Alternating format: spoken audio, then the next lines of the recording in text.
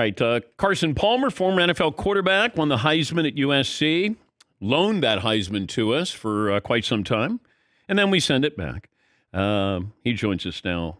He is uh, part of the plant uh, based wellness program, the company called Level Select, and uh, we enjoyed talking to him and promoting this for a while. And it's Level Select OTC. That's a new plant based pain relief brand. And uh, they've been doing this for a long, long time. Did you play against Deion Carson? I did. I actually played against Deion his on his comeback tour when he played for Baltimore uh, with Ray Lewis and Ed Reed and that that defense that they had in Baltimore at the very very end. I think it was it was obviously Deion's last year. Um, so I got a chance to play play against him at the end of it. I think he was wearing number 39 or number 49 or something really ugly out there. But 30, he was still Deion. 37. Yeah, 37. 37, that's what it was. How good was that defense? The year a couple years before that defense was really, really good. I mean, Haloti Ngata in the middle was a, a, nose guard that was really tough to move. And um, obviously Ray Lewis, Bart Scott, Ed Reed, Chris McAlister. I mean, you go on and on down the list that was a really, really talented group. All right. Before you came on, I said that you had a surprise pick as your number one quarterback. Let me go around the room with the Danettes, and then we'll get to uh, Carson's pick as his number one quarterback in the NFL. Todd? Josh Allen. Josh Allen. Seton O'Connor. Joe Burrow. All right. Marvin? Justin Herbert. All right. Paulie? It can't be any of those three because those aren't surprises. Trevor Lawrence. All right. Carson, the number one quarterback is who? Connor was right. I, I like Joe Burrow. Yeah. Okay. I, I, I was playing a game where we got to pick our, our what quarterback you want. What's your your top receiver at X, your top receiver at Z, tight end. And it was funny because I ended it with Joe Burrow, Justin Jefferson, uh, Ja'Marr Chase. So all three LSU guys, and then Travis Kelce at tight end. So LSU's been pumping them out. I mean, oh. that program has gotten really, really good. Okay, but why Burrow over Patrick Mahomes? Uh, it's obviously a, a, a fist fight when you bring that one up. Um, but I just he's younger. I, will take the younger quarterback if I'm if I'm going to build a program around a guy. Hmm. He's got a little less wear and tear. He's a little bit younger, and he's a lot cheaper right now because he's still on his rookie deal, as opposed to Patrick Mahomes, who's the second or third highest paid highest paid player in the league. What do you think is going to happen with Burrow and Justin Herbert as far as their contracts? And and if you're their agents, what are you basing it off of? Like where do you start that contract negotiation? Just uh, whoever signs the next deal. Um, you know, it's it's it's a moving target. Every year, the next guy that gets paid is the highest paid guy. So it just seems like where we're at right now, Joe Burrow's the next guy to get paid. They've been talking about a contract extension for months now. Um, so it seems like he's about to set the bar a little bit higher than whoever the last guy is that just okay. But Jalen Hurts got paid. Is Joe Burrow? Does he start there with his negotiations of Jalen Hurts, or does he say I want Kyler Murray money, or does somebody get squirrely and say I want Deshaun Watson money? No, he just needs he needs more money than Jalen Hurts just got. Okay. He did the same thing Jalen Hurts did, except for he's done it for one more year. You know, Jalen Hurts just went to the Super Bowl and lost. Joe Burrow the prior year just went to the Super Bowl and lost. So the way that these contracts work is the next guy that gets paid gets paid a little bit more. So he should just be a couple hundred thousand dollars more per year than Jalen Hurts got, and probably the same duration, probably another five year contract. Is Jalen Hurts a great quarterback or in a great situation? That's what the world's about to find out. I mean, they, they just paid him they just paid him a bunch of money. They got to get rid of a couple guys. It might be a pass rusher, it might be a receiver, uh, it might be a backup left tackle that's a swing tackle that can play left and right. But as soon as you go from having a rookie quarterback contract to a, a real vet contract, at some point, you got to start cutting, trimming some fat on that roster and get that roster and that salary cap down a bit. So that, that that's what we're about to start seeing in Philly is they got to start giving up some of these great players they've had on the offense and defensive side of the ball. Would you rather have a great tackle or a great wide receiver? A great tackle, no doubt. I mean, at the end of the day, when you're a quarterback, you got to be able to step into throws, and you got to be able to step into throws to deliver the ball accurately down the field. And it really doesn't matter. I mean, you, you can have a top two or three receiver in the game Um, you can have kind of a bottom two or three receiver in the game if you have a great offensive line and they can block for four and a half seconds. Because at the end of the day, if you can block for four and a half seconds, you don't need to pay your receivers 20 million bucks a year. Those guys can get open, but you can't get the ball to them if you can't step into throws. So at the end of the day, I'd rather have the offensive line over the super talented receiver. Former number one overall pick Carson Palmer joining us on the program. Your thoughts? The uh, Jets finally get Aaron Rodgers. Let's start there. What would your expectation level be as a Jets fan? Well, you still got to get past Buffalo and you still got to get past Miami. I mean, I, I, just don't think it was a situation where Aaron was going to a superstar team. I mean, at the end of the day, when you look at those two rosters and you take when you when you compare side by side the Green Bay Packers roster and the New York Jets roster, and you take Aaron Rodgers out of the equation and you just say, what's the next best player? The next best player is Aaron Jones, the running back for the Green Bay Packers. And so when you start really going through this this roster one by one, there might be a, a better receiver here or there in New York, but I think the offensive line's better in Green Bay. I think Aaron Jones is a massive impact game breaking player in Green Bay. The defense is a little better in, in New York, maybe, but Quinnen Williams is now looking for a new contract, possibly. So maybe he gets traded, the, the big D tackle from Alabama. It's a high pick. Um, you know, so you lose Quinnen Williams if if he gets traded, or or maybe you know he's talking about maybe a little bit of a holdout. You got that, you know, you got to deal with that. So wait, so you I think just, the Packers roster is as talented as the Jets, and maybe more talented? Uh, I, I just don't. I think it's a, a lateral move. I don't think it's drastically okay. that much better. Where I'm sitting there going, Aaron, you know, if I'm Aaron, I got to get to, I got to get to New York. The the roster's so good.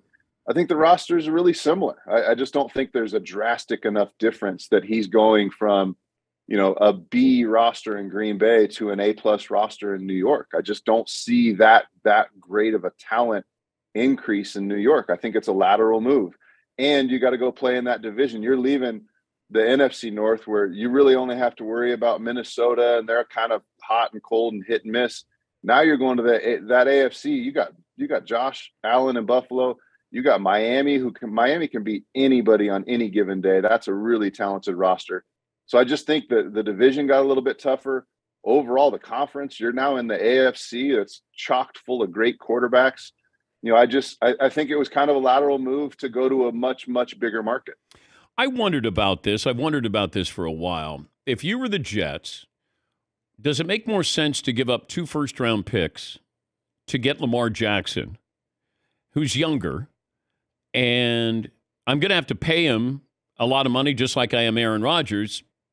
What so would that make more sense for the Jets to go after Lamar Jackson than a 39 year old Aaron Rodgers?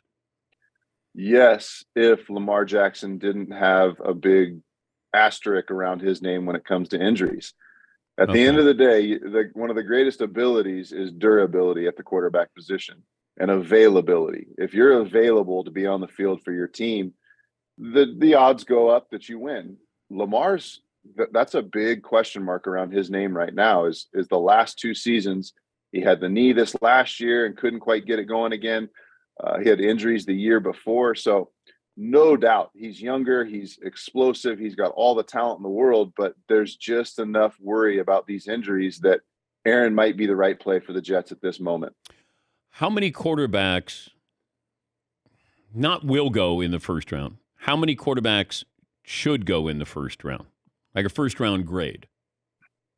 I think I think Bryce goes number 1 and there's questions around him. He is not a very big human being. At the end of the day, he's he's all of 5'10 and I think you know just over 200 pounds 5'11 200 pounds. I mean that that is not a big specimen but he's got to go number one and i really think he will.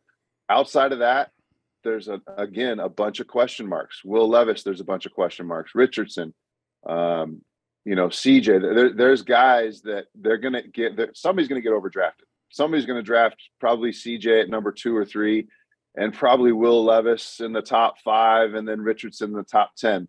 I think when we look back on this draft, there were a couple quarterbacks that were worthy of taking a chance on, but not in, in the top five picks. I, I think if if you got a chance to draft Richardson at like 18 or 22, you'd feel really good about it because there is so much upside.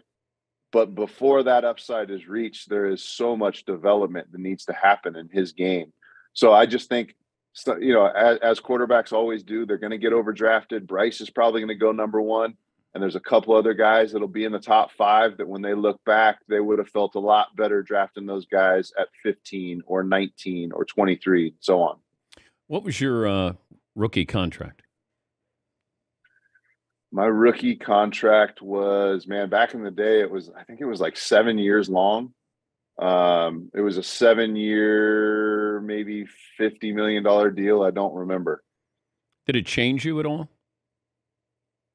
Yeah, drastically, instantly. I went from I went from um, living in a, a crappy uh, dorm uh, just outside of USC off the USC campus with way too many roommates and too few of bedrooms and a couple hundred bucks in my name to a lot more than that. But did it change your person? You know, we talked to Ryan Leaf yesterday, and he said, you know, I didn't handle the money well, and and it changed me. And then I I thought I was better than people. I, I never have felt like that. Um, it it it changed what I was able to do instantly, but I just I always kind of had that chip on my shoulder, like, you know, I've got to earn it. I've got to show them that they made the right decision. And I always kind of had that driving me and and that force behind me, wanting me to continue to work, wanting me, and and then also, you know, you get that question right away you don't want to be the guy that got changed. You don't want to be the guy that had the response that Ryan Leaf had. So I always also had that in the back of my mind where I think, uh, you know, I, you know, from a mental standpoint, from what I was trying to do as, as a player and as a teammate, I think I was just driven to, to continue to work, prove to people that it didn't change me and, and, and didn't um, change the outcome of, of the person that I was, but just continue to work and get better at the game and, and be a better teammate. What car did you buy? Uh, well, my baby, I had a I had a '87 Cadillac Fleetwood that I got in college for forty two hundred dollars, and I was taking that with me um, to Cincinnati, and then I got hit by a drunk driver on the 110, and he totaled my my Fleetwood, my baby, and then I moved to Cincinnati, and I started uh, a relationship with Jeff Wyler Chevrolet, and they hooked me up with a Chevy Avalanche for free. I got to drive a Chevy. You remember the old school yeah. Chevy Avalanche? Uh, a big truck. Big truck, no longer in production. They they didn't make it. Uh, I think I was the only person that actually liked that truck, and that's why Chevy discontinued it years later. Did you ever try to replace the Cadillac with another Cadillac? No, no. I uh, I mean that was my baby. It was a rolling sofa bed. It was champagne brown, and it, it, had a max speed of like 52 miles an hour, which doesn't work great in LA, which is probably why I got hit in downtown LA by a drunk driver because I was going too too slow on the freeway. Did you get hurt at all in that accident? No, I uh we were actually getting ready to play Kansas State, I think like the next day or, or the following day. But I remember I was stuck on the 110. The uh, a car was coming horizontally across the highway, and that was the drunk driver that hit me. I smashed into him. A couple other cars smashed behind me, and I was getting ready to play Kansas State in like two, you know, maybe two or three days. And there's cars whizzing by me. Nobody stops in LA. There's a middle, you know, a, a car crash in the middle of the road, and cars are swerving around us going 70. It just, just no, you know, no hope, and stuck in the middle of the freeway. We found a way to get out of the car and got to the side. Um, and I'm still here to speak about it, Dan. Good to talk to you as always, and uh, have fun with the draft. Thanks, Dan. You too. That's Carson Palmer, former number one overall pick, Heisman Trophy winner, and uh, he uh, is working with Level Select OTC. Those products maintain a healthy and active lifestyle. Always good to talk to him.